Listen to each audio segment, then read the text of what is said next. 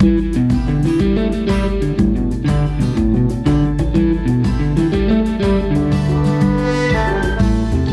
und willkommen zu Grünkohl mit Pita, dem Podcast von Niedersachsen packt an. Ich bin Eva Völker. Heute spreche ich mit Natascha A. Kelly, promovierte Kommunikationssoziologin und Aktivistin. Sie wurde in London geboren, kam als Kind nach Kloppenburg. Natascha Kelly ist auch Kuratorin, Herausgeberin, führt Regie am Theater, hat einen Film gemacht und bereits mehrere Bücher geschrieben. Wir sprechen heute über ihr neues Buch mit dem Titel Rassismus. Strukturelle Probleme brauchen strukturelle Lösungen. Sie zeigt darin auf, wie rassistische Strukturen in unserer Gesellschaft dafür sorgen, dass schwarze Deutsche ausgeschlossen werden.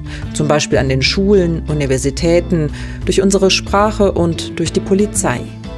Erst wenn Rassismus nicht in den individuellen Erfahrungen von Betroffenen gesucht wird, sondern in diesen Strukturen, so Natascha Kelly, kann man ihn konstruktiv angehen. Jetzt geht es los mit unserem Gespräch mit Natascha Kelly. Herzlich willkommen. Hallo. Mit Natascha A. Kelly.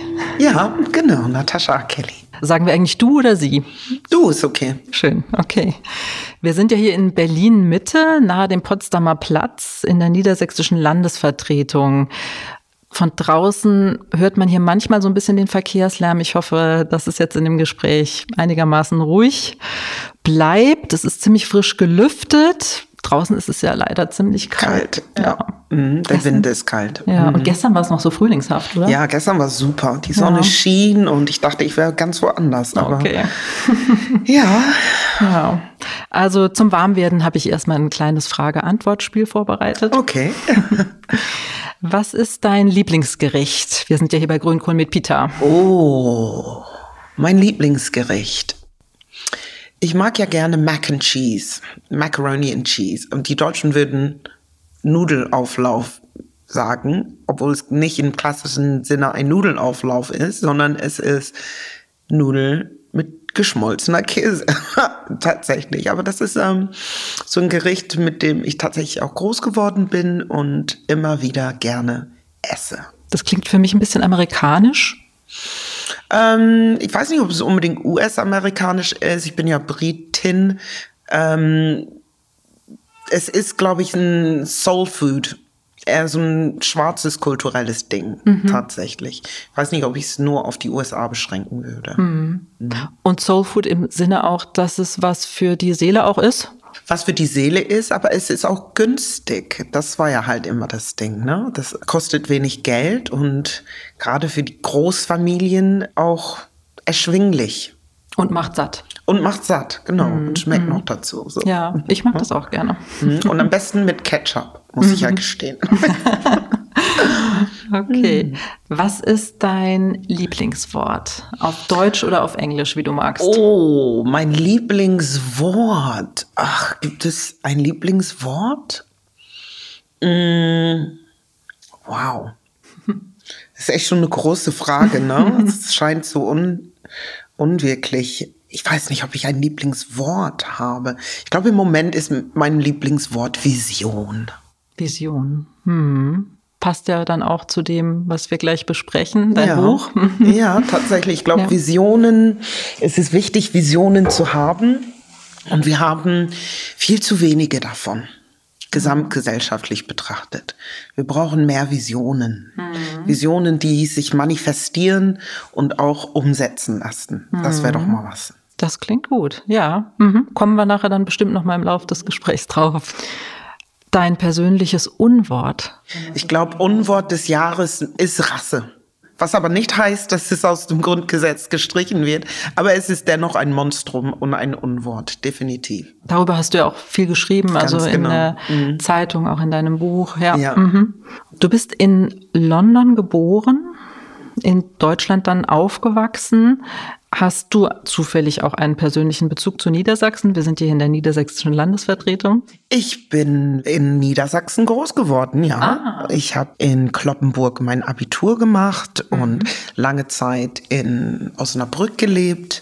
Meine Tochter ist in Osnabrück geboren. Von daher, mhm. ja, ich habe einen direkten Bezug, einen immerwährenden okay. zu Niedersachsen. Ja, ja, ja das passt mhm. dann ja wie die Faust aufs Auge. okay. Du bist promovierte Kommunikationswissenschaftlerin und Soziologin. Wie bist du dazu gekommen, dich in deiner wissenschaftlichen Arbeit mit dem Thema Rassismus auseinanderzusetzen? Ich glaube nicht, dass ich gezielt losgestiefelt bin und gesagt habe, so und jetzt will ich Rassismus erforschen, sondern mein drittes Fach neben Kommunikationswissenschaften und Soziologie war englische Philologie.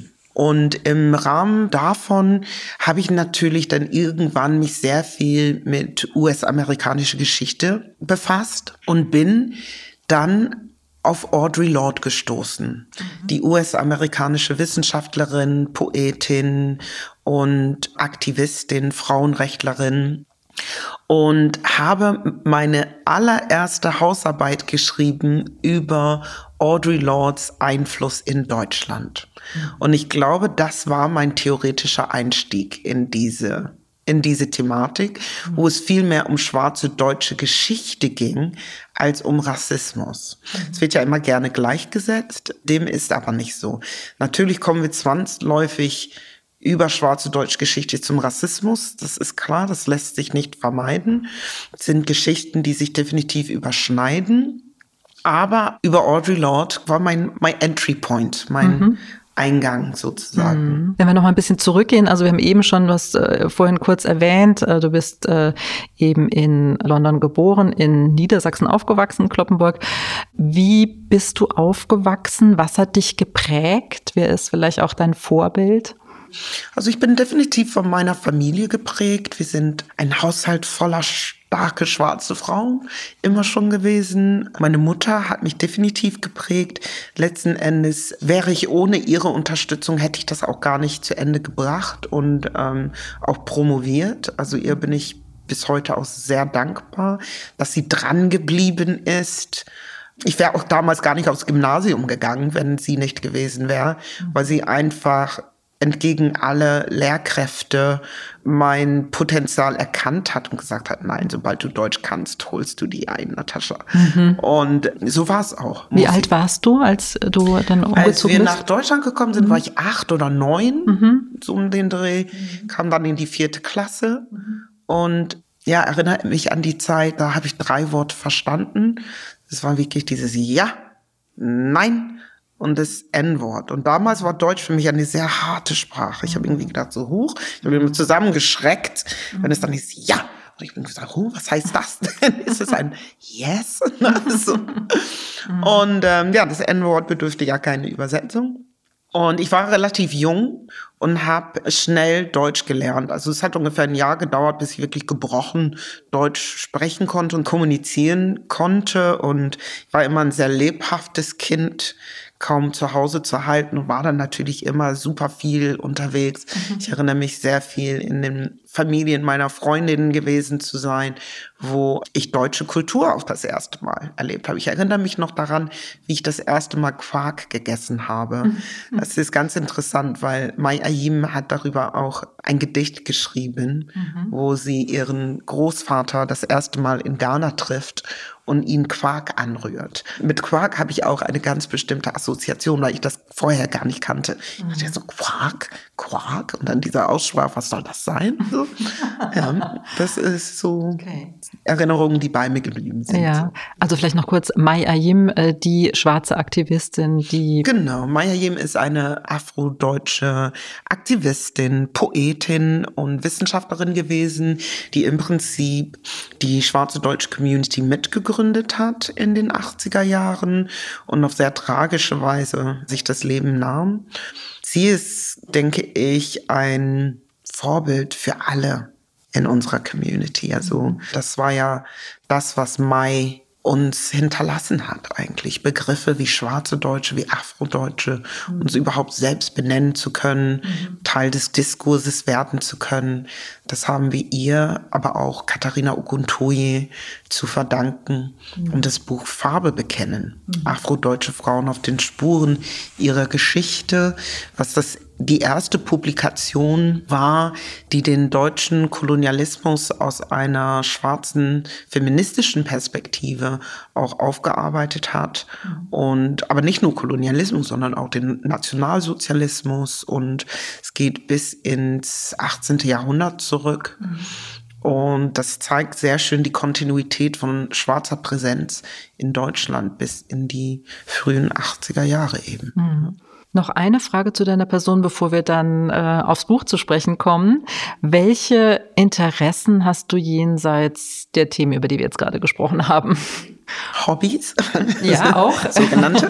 genau. Ähm, wenn ich denn mal Zeit habe, ich pflanze ja gerne. Mhm. Also ich bin mhm. ja, ich habe einen richtig schönen Balkon und mhm. ich warte eigentlich nur auf das richtige Wetter um wieder meine Samen einzubuddeln. Und ich habe auch in meiner Wohnung sehr viele Pflanzen und ich mhm. mag die Atmosphäre, die Pflanzen erzeugen und die Luft, mhm. die Pflanzen erzeugen. Das ist etwas, womit ich mich wirklich gedankenlos beschäftigen kann. Mhm. Ne? Also gerade als Autorin, wir sind ja immer im Kopf unterwegs. Mhm andere würden an dieser Stelle sagen, ich lese gerne, aber für mich gehört Lesen tatsächlich zum Beruf. Mhm. Das ist dann irgendwie nicht mehr eine Entspannung oder ein Hobby, weil ich dann irgendwie selbst einen Roman wieder analysieren muss, was und wie und wo und wann und so. Mhm.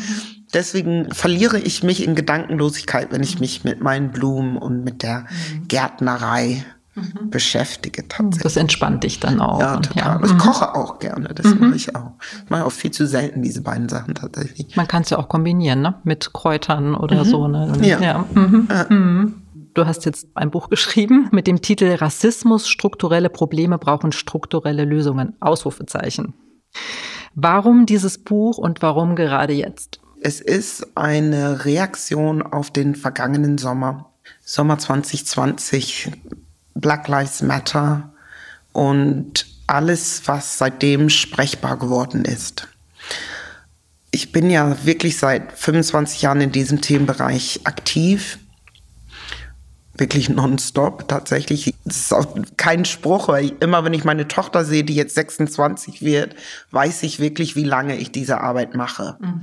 Und dann habe ich das so vor Augen, wo ich irgendwie denke, ach Mensch, das äh, hört ja nicht auf. Ne?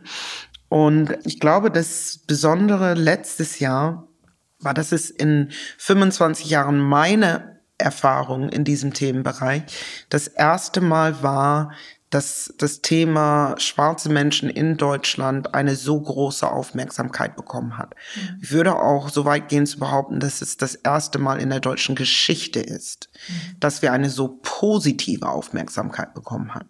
Es gab ja immer wieder politische Protestaktionen und Propagandaaktionen, die aber sehr negativ konnotiert waren, ob es nach dem Ersten Weltkrieg war oder nach dem Zweiten Weltkrieg, mhm. wo es darum ging, schwarze Körper aus dem Land zu befördern schwarze Kinder von US-Soldaten zwangs zu adoptieren. Es war also immer negativ konnotiert.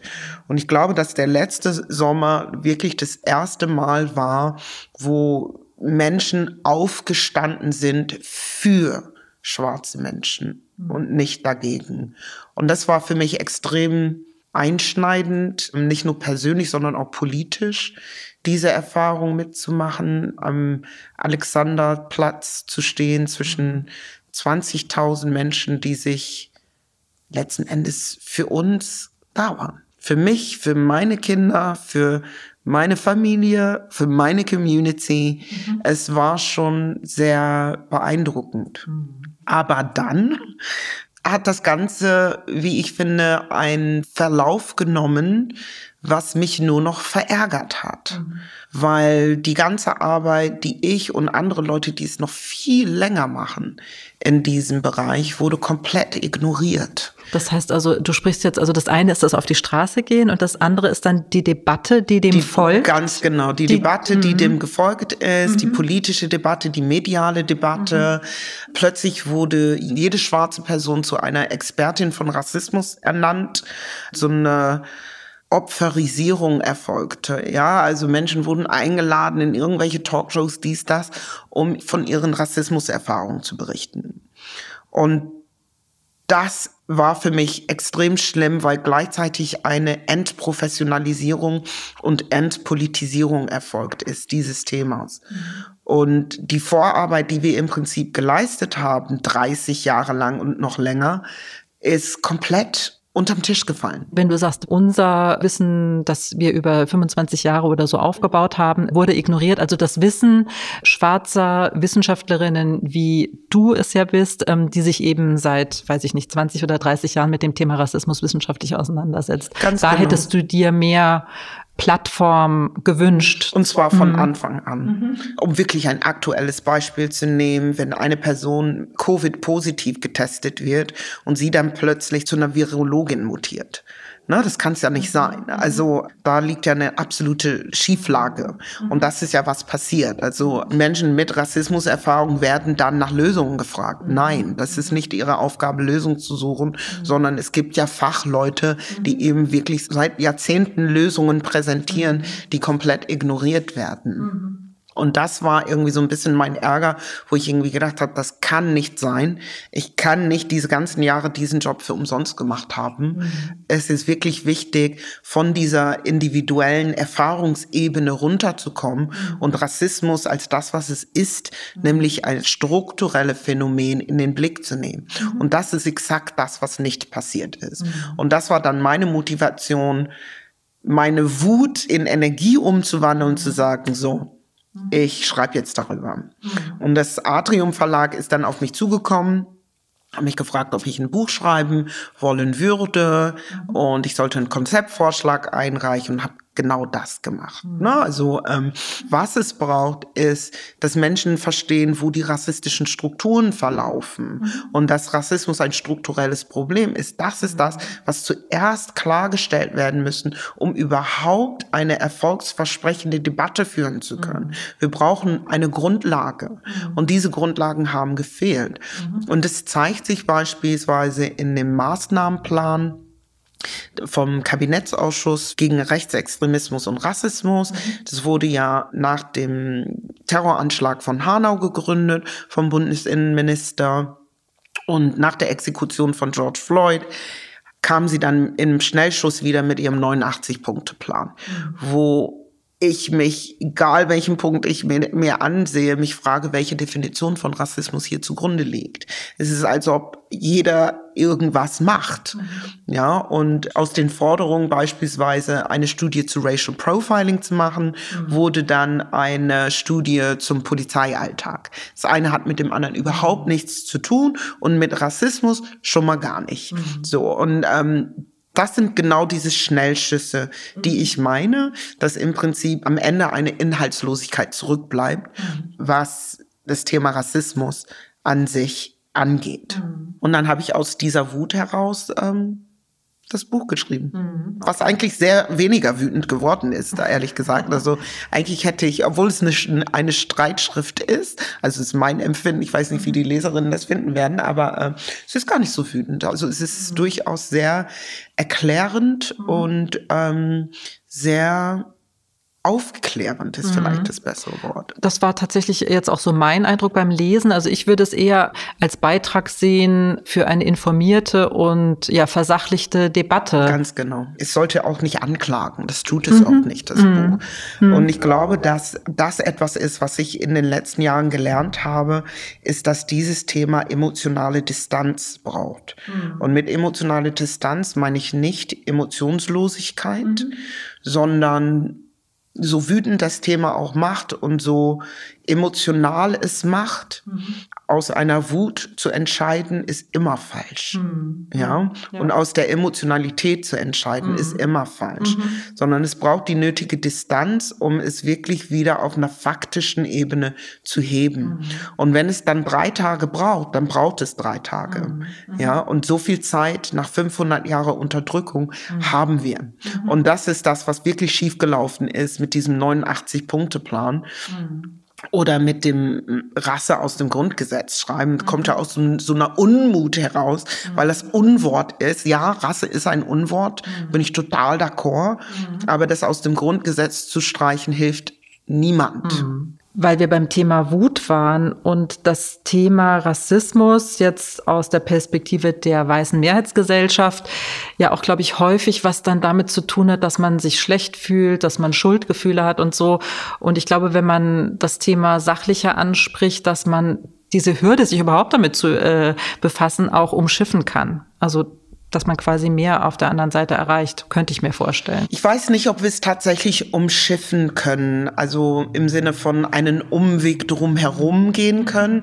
Das glaube ich tatsächlich nicht. Mhm. Wir müssen sachlich dadurch, mhm. im wahrsten Sinne des Wortes. Es ist ja eine geschichtliche Ebene, die hinter dem Nationalsozialismus liegt. Mhm. Ich bin wirklich der Meinung, wir sind immer noch dabei, den Nationalsozialismus aufzuarbeiten mhm. und wir werden auch noch lange Zeit brauchen. Und wir brauchen auch, um den Nationalsozialismus überhaupt in seiner Gänze zu verstehen, brauchen wir den Kolonialismus. Mhm. Also ist es nur eine Frage der Zeit gewesen, mhm. bis wir den Kolonialismus auch anfangen aufzuarbeiten. Mhm. Weil es ist ja nicht eine isolierte Geschichte gewesen, mhm. sondern der Kolonialismus und Nationalsozialismus sind ja ganz eng miteinander verstrickt. Mhm. Gerade am Rassebegriff lassen sich ja auch diese Kontinuitäten sichtbar machen. Mhm. Ja. Mhm. Und das ist etwas, wo wir einfach wirklich durch müssen. Mhm. Wir müssen durch, um an die Wurzel des Problems zu kommen. Mhm. Und es gibt keinen Weg drumherum, wir mhm. können keine Umwege, keine mhm. Abkürzungen nehmen, sonst irgendwie was. Wir müssen tief Luft holen, Augen zu und durch. In einem Kapitel gehst du ja eben äh, auf die Geschichte des Rassismus oder den Rassismus in der Geschichte ein, auf Philosophen wie Kant und Hegel, was mich auch sehr beeindruckt oder berührt hat, auf eine Schädelsammlung des deutschen Arztes Rudolf Virchow, darunter 300 Schädel von Opfern des Aufstands der Ova, Herero, Nama, Damara und San gegen ihre deutschen Kolonialherren von 1904 bis 1908, die noch heute zum Teil im Historischen Museum der Charité lagern, wie du schreibst. Und sie wurden verwendet, um die Idee menschlicher Rassen zu untermauern. Später wollte man beweisen, dass Charaktereigenschaften biologisch bestimmbar seien. Und du schreibst, dies habe schon früh die sozialen Realitäten von schwarzen Deutschen im Deutschen Kaiserreich und danach beeinflusst. Inwiefern war das der Fall? Ganz genau. Es gab ja die sogenannten Mischehengesetze in den Kolonien, zuerst in Samoa und später in Namibia. Und diese Mischehengesetze besagten, dass weiße Männer keine afrikanischen Frauen heiraten durften und die Kinder aus diesen Ehen, sofern sie sich nicht schnell genug in eine sogenannte Mischlingsliste eintragen konnten, aber auch selbst dann wurde die deutsche Staatsangehörigkeit verweigert. Umgekehrt war es so, dass wenn weiße Frauen einen afrikanischen Mann geheiratet haben, dann wurde der weißen Frau die deutsche Staatsangehörigkeit entzogen. Mhm. Ja? Das ist tatsächlich ein Punkt, was ich als Beginn schwarzer deutscher Geschichte verzeichnen würde wo wir eben sehen, dass Rassismus strukturell ist, weil sie sich in die Gesetzeslage eingeschrieben hat. Mhm. Diese Mischehengesetze, die strahlten zurück auf den Reichstag und da wurde das sogenannte Reichs- und Staatsangehörigkeitsgesetz von 1912, 1913 erlassen. Mhm. Und dieses Gesetz besagte nicht, wer deutsch ist, sondern wer nicht deutsch ist. Mhm. Und damals wurde mit dem rassistischen Begriff Eingeborene gehandelt. Und das heißt, dass Eingeborene nicht deutsch sein können, aufgrund ihrer vermeintlichen Rassenzugehörigkeit. Mhm. Und das zeigt, wie die Konstrukte Rasse und Nation miteinander verstrickt sind. Mhm. Gleichzeitig zeigt es uns aber auch, wo die Vorstellung herkommt, dass Deutsche weiß sein müssen. Mhm. Das ist ja auch eine Kontinuität, die wir heute wie selbstverständlich leben, als wäre es schon immer so gewesen. Mhm. Das war es aber nicht, sondern auch diese Idee ist konstruiert und hat seinen Ursprung eben im deutschen Kolonialismus, wie diese Mischehen-Debatte und die Staatsangehörigkeitsdebatte eben zeigen. Mhm. Oder wir sehen nach dem Zweiten Weltkrieg die Zwangsadoption von schwarzen Kindern. Wir haben die Wendezeit, also es hat ja überhaupt nicht aufgehört. Mhm. Wir haben ja die Vertragsarbeiterinnen in der DDR, die keine Einbürgerung bekommen haben. Oder wir haben die äh, namibischen Kinder, die vor dem Bürgerkrieg zwischen Namibia und Südafrika von der DDR aufgenommen wurden, die nach dem Mauerfall zurückgeschickt wurden, nach fast 20 Jahren in Deutschland. Auch da ist keine Einbürgerung erfolgt, mhm. bis hin zu der Tatsache, dass wir gemütlich vom Sofa aus zusehen, wie Menschen im Mittelmeer ertrinken. Und das kann es nicht sein. Mhm. Ja, also das ist ja eine Kontinuität unserer Geschichte wie schwarze Körper dieses Landes gar nicht angenommen werden. Die Vorstellung, dass wir nicht deutsch sein können, ja, weil es so etwas wie deutsches Blut gäbe.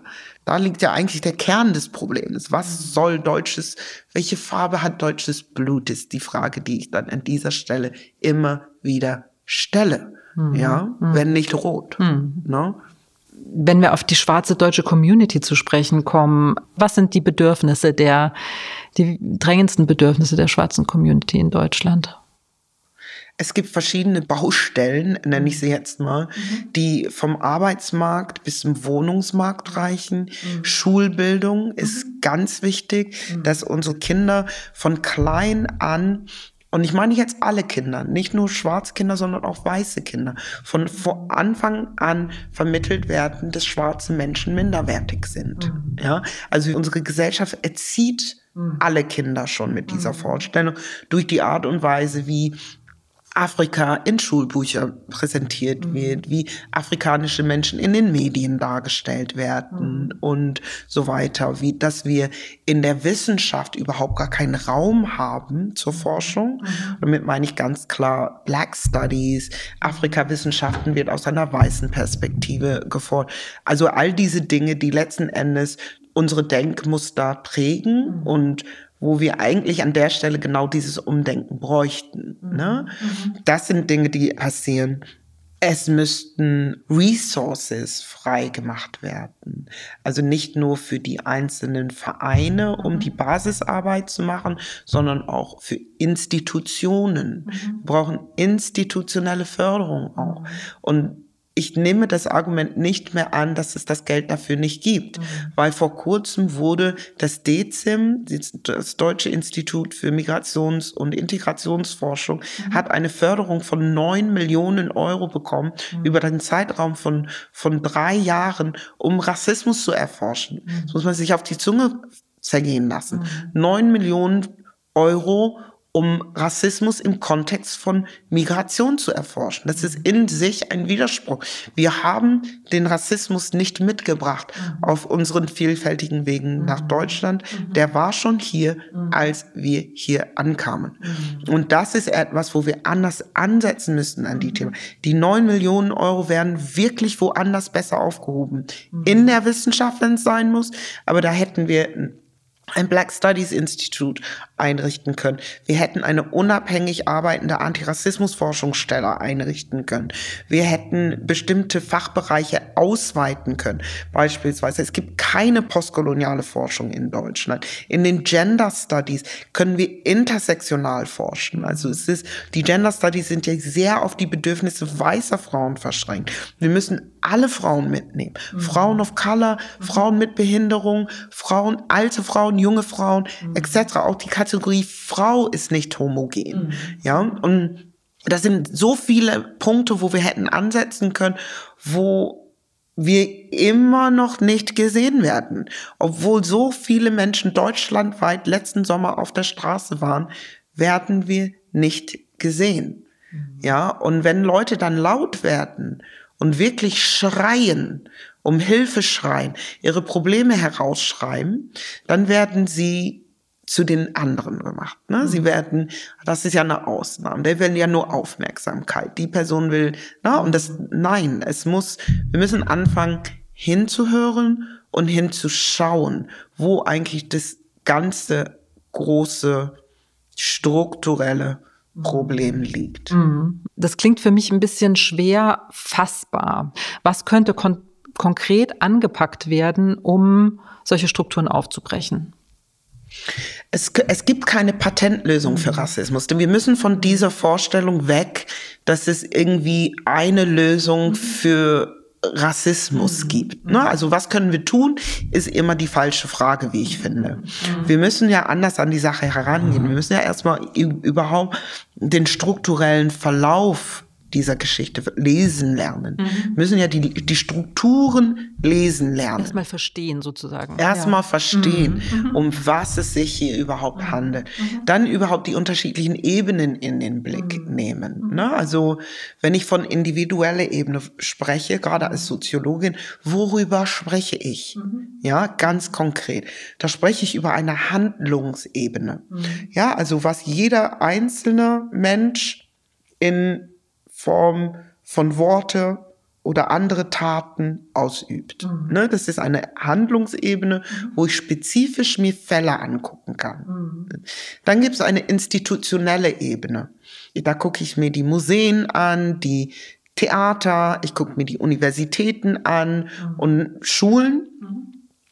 Aber auch die Polizei und was es noch alles für Institutionen halt eben gibt mhm. und schaue in diesen Institutionen, in den institutionellen Abläufen, mhm. wie diese Abläufe Machtstrukturen produzieren. Mhm. Und diese Machtstrukturen führen ja überhaupt zu Zugänge und Ausschlüsse auf der mhm. einen Seite. Mhm. Wenn wir uns ähm, Hochschulen ist das beste Beispiel, was ja ein ewiger Kreislauf ist, was ja ganz eng mit dem Schulsystem zusammenhängt. Wer schafft es überhaupt, ein Abitur zu machen? Mhm. Wer hat dann Zugang zur Universität? Und wer kommt ungeschadet durch die Universität? Mhm. Ja, mhm. das sind ja Mechanismen, wo, oder Schrauben, an die wir problemlos drehen könnten, mhm. wenn wir es wollten. Mhm. Ja, wir müssen dann das Ganze strukturell also sehen. Also mhm. diese Institutionen, die sind ja nochmal auf so eine, eine Meso-Ebene. Die strukturelle Ebene liegt ja nochmal da drüber. Mhm. Das ist überall dort, wo beispielsweise Gesetze mhm. eine Rolle spielen. Ja, dass letzten Endes der Schutz vor Diskriminierung ist ein Menschenrecht. Mhm. Das sagt doch schon, dass Rassismus ein strukturelles Problem ist. Also eigentlich wir einen juristischen Schutz mhm. haben, mhm sagt doch, dass wir, es sich hier um ein strukturelles Problem handelt mhm. und nicht um ein individuelles Handeln irgendeines Einzelperson. Mhm. Also die Rechtslage ist völlig klar. Die Alle sollte Menschen, klar sein, ja. aber das, ja. das ist jetzt ja, ja eben nicht. Mhm. Ja, mhm. das, da liegt ja genau das Problem. Die Rechtslage mhm. sollte klar sein. Wir haben ein Grundgesetz. Mhm. Wir haben uns zu den Menschenrechtskonventionen bekannt als Deutschland. Das sind doch ganz klare mhm. strukturelle mhm. Vorgaben, ja. wonach sich Gesellschaft mhm. und gesellschaftliches Handeln in Form von Politik strukturiert. Demnach ist doch Rassismus ein strukturelles Problem, was einen Schutzbedarf hat. Ja? ja? Und solange wir das nicht verstehen, nützt keine Maßnahme irgendwas. Mhm. Ja, weil wir an der falschen Stelle anpacken. Mhm. Ja, also was nützt es uns, wenn wir Rasse mit aus rassistischen Gründen ersetzen? Mhm. Gar nichts nützt uns das. Mhm ja, außer dass wir das Problem versuchen klein zu machen, mhm. weil wir es auf eine individuelle Ebene reduzieren mhm. und nur noch das Zwischenmenschliche in den Blick nehmen. Mhm. Er hat das N-Wort zu mir gesagt beispielsweise. Mhm. Dabei müssen wir doch das N-Wort verbieten mhm. und nicht überlegen, ob der es jetzt rassistisch gemeint hat mhm. oder nicht. Das N-Wort gehört per Gesetz verboten. Punkt. Ja. Ende der Debatte. Ist es aber nicht. Und stattdessen gibt es eben dann Gerichte, die sagen oder abwägen, ob in einer bestimmten Situation das N-Wort nicht sozusagen dem Schutz der Meinungsfreiheit Ganz genau. unterliegt. Und ja. da liegt wieder ein Problem, dass nämlich ein Menschenrecht. Das andere hm. aufhebt. Hm. Ne? Hm. Natürlich gibt es Meinungsfreiheit hm. und es gibt Kunstfreiheit. Aber diese Freiheiten hören da auf, ja. wo ich die Würde des Nächsten berühre. Mhm. Na, also diese Freiheiten sind nicht grenzenlos. Mhm. Und wir müssen aufhören, uns vorzustellen, wir können alles machen und dürfen alles tun, mhm. was wir wollen unter dem Deckmantel von Meinungsfreiheit und mhm. Kunstfreiheit. Nein, können wir nicht. Mhm. Und wenn wir Demokratie ernst nehmen, dann können wir das nicht. Und das dürfen wir auch mhm. nicht. Mhm. Ja, und das ist die Verantwortung, die mir fehlt mhm. in dieser Debatte. Ja. Das ist das, worum es geht. Mhm. Und nur das. Mhm. Ja.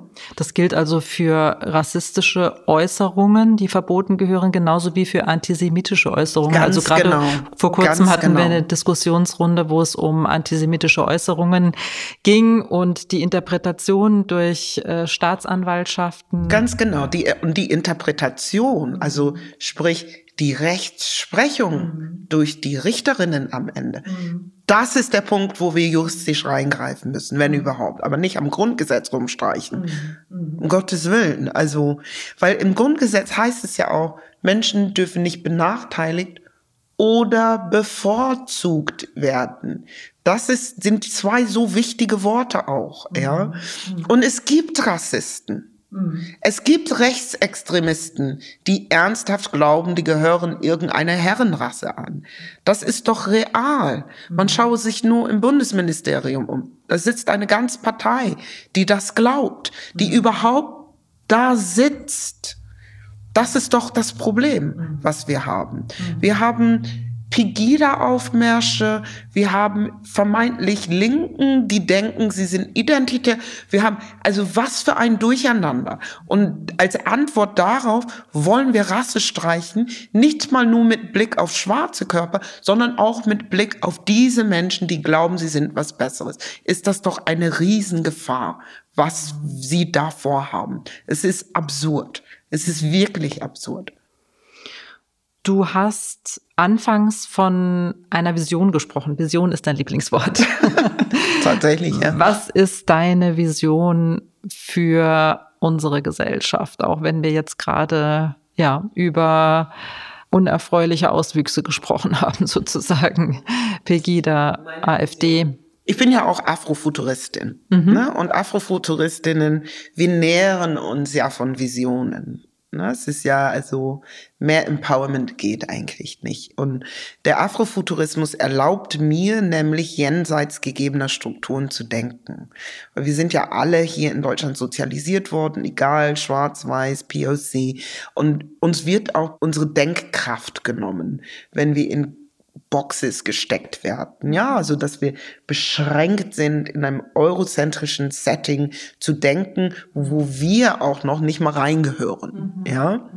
Und da hat mir der Afrofuturismus geholfen, mich daraus zu befreien und jenseits dieser Strukturen überhaupt zu denken und überhaupt Visionen von Zukunft zu entwickeln. Mhm. Und ich würde sagen, es gibt Nahvision, mittelfristige Vision und langfristige Vision. Mhm. Ne?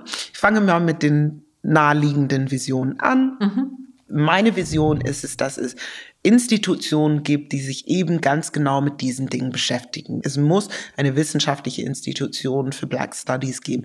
Es muss eine Institution geben, die Theater neu denkt. Das ist ja auch gerade unsere aktuelle Forderung. Ja, dass auch Kunstfreiheit auch für schwarze Menschen in diesem Land gelten muss. Es muss eine freie Bühne geben.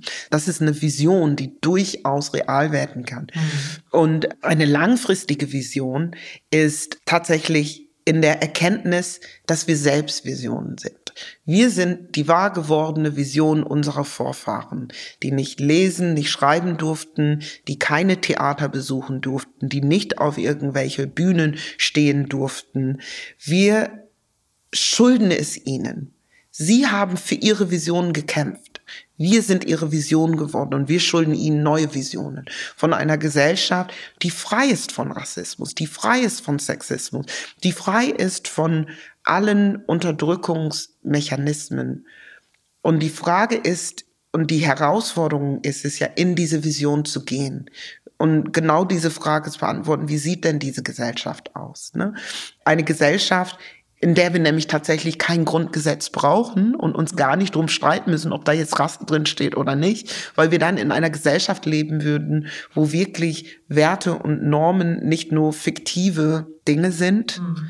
die wir immer noch versuchen zu erreichen, in einer Gesellschaft, wo die Würde des Einzelnen auch realer Tatbestand ist und so gelebt wird, dass es einfach ein, wirklich einen zwischenmenschlichen Respekt gibt, dass diese Dinge sich von selbst verstehen. Das ist meine Vorstellung von einer Gesellschaft, die komplett umstrukturiert werden muss, das ist auch eine ganz klare Forderung von Black Lives Matter, die sagt, die Polizei muss abgeschafft werden. Es geht nicht darum zu sagen, hui bui, die Polizei muss abgeschafft werden, sondern die Botschaft dahinter ist, dass wir eine Gesellschaft haben müssen, die keine Polizei braucht. Das ist doch eine Vision. Mhm.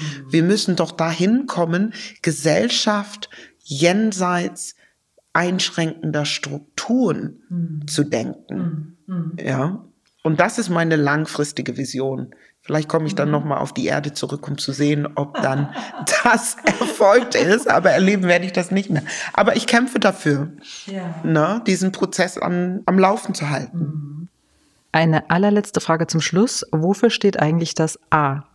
Das fragen tatsächlich alle und das werde ich auch nicht verraten. Schade. Das, werden, das werde ich nicht verraten. Das fragen alle. Es ist erstmal ein Platzhalter, sagen wir es mal so. okay. Ja. Aber mhm. vielleicht irgendwann kommt die Auflösung. Irgendwann kommt die Auflösung. Ja. Kurz, mittel- oder langfristig. Ähm, ich lasse euch noch ein bisschen fragen. Also, okay. das fragen tatsächlich immer alle, aber ich lasse das jetzt mal okay. so stehen. Ja. ja, dann hoffe ich, dass das Buch viel gelesen wird und gekauft wird. Vielen Dank, das hoffe ich tatsächlich auch. Ja. ja. Mhm. Viel Erfolg damit und vielen Dank für das Gespräch. Ja, danke auch. Danke für die Einladung. Das war das Gespräch mit Natascha Kelly. Ich hoffe, es hat euch gefallen. Hier nochmal der Titel. Rassismus. Strukturelle Probleme brauchen strukturelle Lösungen. Das Buch ist im Atrium Verlag erschienen und kostet 9 Euro. Das war die Aprilfolge von Grünkohl mit Peter. Wir freuen uns über eure Bewertung auf Apple Podcast. Wenn ihr keine Folge verpassen wollt, abonniert Grünkohl mit Peter auf eurem Lieblings-Podcast-Kanal. Das Team von Grünkohl mit Peter freut sich auch über Anregungen oder Kritik von euch. Schreibt eine Mail an bündnis mit ue.niedersachsen.de. Danke fürs Zuhören und tschüss bis zum nächsten Mal.